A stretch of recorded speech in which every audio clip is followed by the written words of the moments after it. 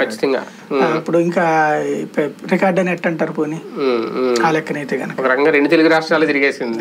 ఆమె. కానీ టీడీపీ ఒక నైరాశ్యంలో ఉందని నిన్న మొన్నటి వరకు అనుకున్నాం. దీంతో మళ్ళీ ఆ జోష్ మళ్ళీ తిరిగి ఎనర్జీ. మేబీ అది కరెక్ట్. ఎందుకంటే వాళ్ళకి ఇప్పుడు పక్కన బాబు గారు బయటకు వచ్చి మాట్లాడలేదు ఇంకా. అసలు ఏంటి పార్టీ యాక్టివిటీ? ఈ అచ్చెన్నాయుడు వీళ్ళు వాళ్ళు రోజు ప్రెస్ మీట్లు పెట్టి ప్రెస్ స్టేట్మెంట్లు తప్పించి ఉమ్, స్ట్రాంగ్గా లేదు పార్టీ పరిస్థితి ఏంటి? మధ్యలో అటు ఇటు కాకుండా నిలబడిపోయింది అన్నటువంటి దశలో లోకేష్ పాదయాత్రలో మళ్ళీ వాళ్ళకి ఒక చైతన్యం తీసుకొస్తున్నారు పార్టీ పరంగా. అది మాత్రం ఖచ్చితం. రైట్. మొత్తానికి మళ్ళీ మొదలైంది యువగళం పాదే